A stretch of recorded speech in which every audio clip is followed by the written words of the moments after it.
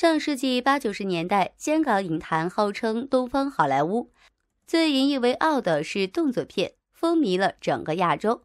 影片中那些身手灵活、武功深厚、招式漂亮的动作影星，也成为影迷的追捧、学习的对象。今天就来盘点一下香港影坛十大腿功高手。一李三角李小龙。一九五三年，已经学习过太极拳、洪拳等拳法的李小龙，经好友引荐，拜在了叶问的门下，学习咏春拳，深得叶问真传。后来，他又创立了截拳道，并著有许多武术方面的书籍，是当之无愧的武术大师。但他推广中国功夫影响最大的还是电影。他是童星出道，在美国也拍过剧集，但真正令其大火的还是在嘉禾电影时期。一九七一年，一部《唐山大兄》横空出世，改变了香港的电影类型，用拳脚功夫片取代了刀剑武侠片，引领了一股功夫片热潮。后续的《精武门》《猛龙过江》《龙争虎斗》令他的演艺事业更上一层楼，并成为世界功夫巨星。成龙、李连杰、甄子丹等功夫明星都深受他的影响，而且周星驰也是他的铁杆粉丝。不仅如此，教官曾经也夸赞过他：李小龙功夫好，表演精彩，他为中国人争了功。但天有不测风云，就在李小龙准备继续拍摄完《死亡游戏》时，他却突然去世，年仅三十二岁。二，左腿攻击之王黄任直。黄任直是在活跃在香港影坛的韩国人，他精通和气道和跆拳道，尤其是擅长腿功。不仅动作迅速敏捷，而且非常强悍毒辣，因此获得了“左腿攻击之王”的称号。他和李小龙在《猛龙过江》和《死亡游戏》中有过合作。电影中不仅被李小龙揍，据说现实中也被李小龙教训过。事情起因还要从梁小龙说起。他年轻时期也是武痴，听说黄仁植很厉害，于是找他切磋，但两次都败了。后来，梁小龙得知他参演过李小龙电影《猛龙过江》，于是告诉李小龙黄仁直很厉害。李小龙也是好胜之人，心想能有多厉害呀？于是找他切磋了一把，结果自然是小龙哥更胜一筹。李小龙离世之后，黄仁直多次与成龙合作，他们二人合作的《师弟出马》打破了当年香港的票房纪录，成为香港首部票房破千万的影片。随后，他又接连出演了《龙少爷》《虎鹰》等影片。九十年代之后，便淡出了影坛。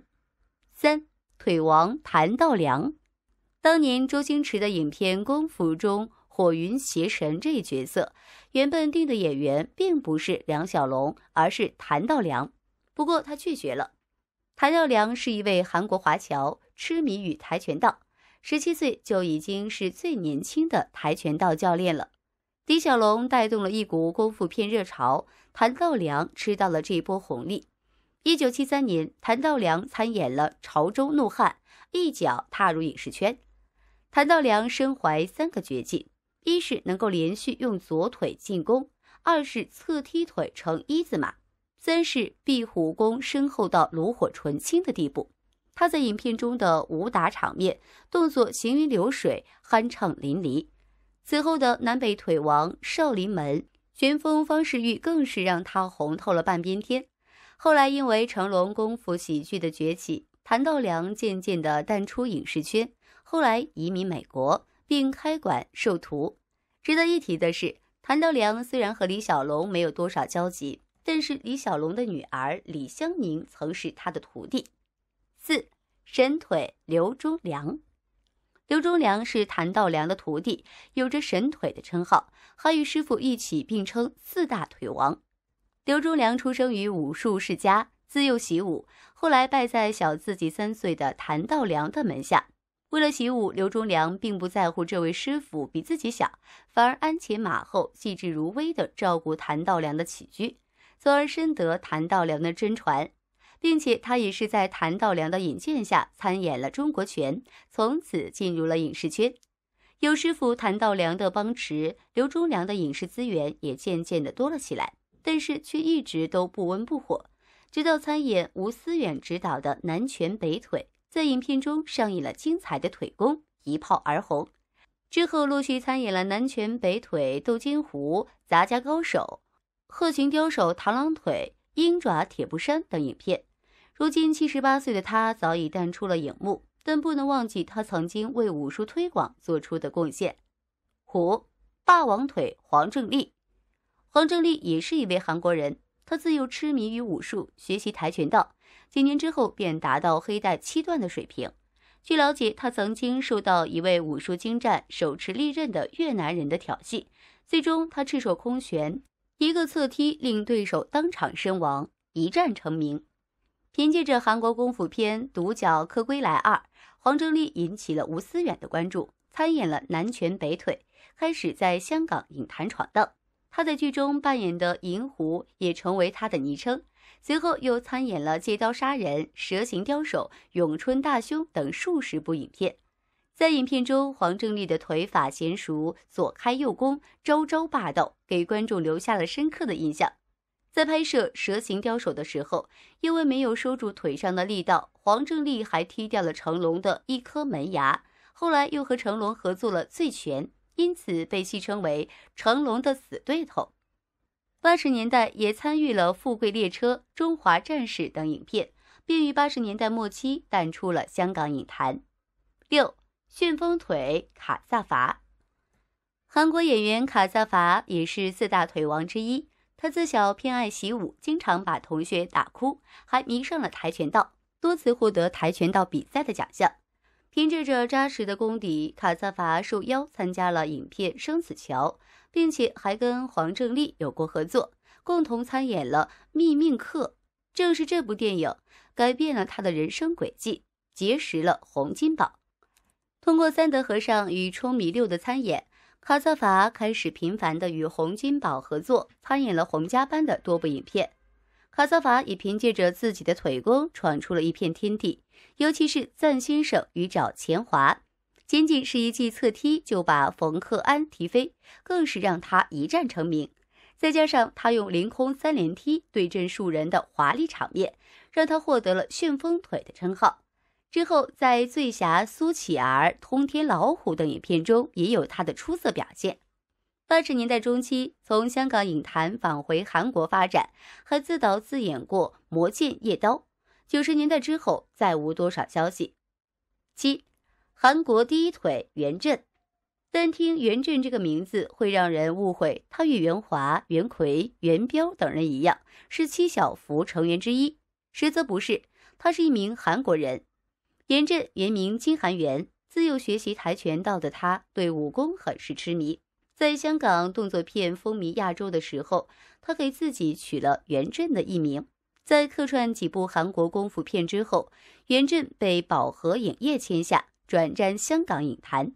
一部《蝎子战士》给了袁振大放光彩的机会。影片中，他把绚丽的腿功发挥得淋漓尽致，以至于他的角色虽然是反派，却是很受观众的喜爱。名声大噪的袁振与刘家良、成龙、李连杰等功夫明星建立了联系，但是却因为种种原因错过了与成龙和李连杰的合作，并于九十年代中后期回到韩国发展。中间两千年还被唐季礼邀请参演了《雷霆战警》。除了当演员，他还担任一些影片的动作设计，比如《我老婆是大老三》。如今他依然活跃在演艺圈。八。成家班第一腿功卢慧光，成家班有不少高手，卢慧光就是其中之一，而且他还是连续六届泰拳比赛的冠军。因为武功底子好，被成龙欣赏，并加入成家班。早期在电影中没有多少露头的机会，多是打酱油，诸如《A 计划》续集、《警察故事》续集、《奇迹》等。直到一九九四年《醉拳二》，他才凭借着出神入化的腿功，真正的出圈。尤其是他的一字马，更是成为影片中的经典画面。后来又在《给爸爸的信》中和李连杰较量，在《小飞侠》中和谢苗演一对父子。最为人津津乐道的还是《古惑仔》系列的红星战神这个角色，而且他的前妻黎淑贤正是《古惑仔三》中蒋先生的情人方婷。太子还是了不起，连蒋先生的马子都敢翘。卢慧光不仅是成家班里的人，而且也是成龙的左膀右臂，跟随成龙二十多年，直到二零零九年才离开。离开成龙之后，卢慧光依然有戏拍。近些年在《拆弹专家》《杀破狼》《贪狼》《怒火重案》中都有他的身影。九，小哑巴腿王黎强权。黎强权自十七岁开始学习武术，精通咏春拳、跆拳道、空手道等多种功夫。在杀进香港影坛之后，凭借着扎实的功夫进入了成家班，成为第二代成员。在加入成家班之后，黎强权在多部影片中跑龙套，各种角色都饰演过，但都没什么存在感。直到一九八八年的《警察故事》续集上映，他才火了起来。在影片中，他饰演的是一个腿功强悍的哑巴，在对决中狂虐成龙，打得成龙毫无还手之力。他的空中三连踢也让观众真正认识了这个腿功高手，这成为他的代表性角色。人们也称他为“小哑巴腿王”。此后，黎强权还参演过《醉拳二》《霹雳火》等影片，但始终是无法超越哑巴这角色。如今的黎强权早已经淡出功夫圈。值得一提的是，在2021年上映的《龙虎舞狮》中，黎强权展示了自己做舞狮的生活。十，鬼脚七熊欣欣。熊欣欣自十二岁开始习武，练就了扎实且深厚的武功底子，而且还拿过全国武术冠军。退役之后，在一次机缘巧合之下，他在影片《南北少林》中做了李连杰的武术替身，完美的完成了每一个武术动作，给刘家良留下了深刻的印象。也正是刘家良把熊欣欣带进了香港影坛之后，他碰到了伯乐徐克。在徐克执导的《黄飞鸿》系列影片中，熊欣欣或是担任李连杰的替身，或是跑龙套。直到《黄飞鸿之狮王争霸》，熊欣欣得到了鬼脚七的角色。他凭借着扎实的武功底子和认真负责的态度，把鬼脚七这一角色给演活了。此后更是连续多次饰演鬼脚七，至今无人超越。此后，熊欣欣在香港影坛有了一定的位置。资源更是接连不断，刀、满汉全席、大三元等一系列动作片，让越来越多的观众认识了他。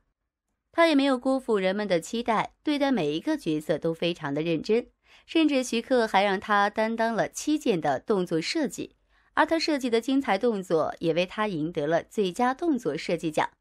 如今，熊欣欣已经六十岁了，但依然活跃在荧屏上，在王晶的新《倚天屠龙记》中。还能看到他的飒爽身影。光阴似箭催人老，日月如移月少年。曾经的一代功夫明星们已然暮年，退出了功夫圈的舞台，而新生代的打星却显得有些难担重任。作为影迷，期待香港功夫片能够早日再现当年的辉煌。好了，以上就是本期的节目。如果您喜欢我们的节目，欢迎订阅、点赞、转发，感谢大家的支持。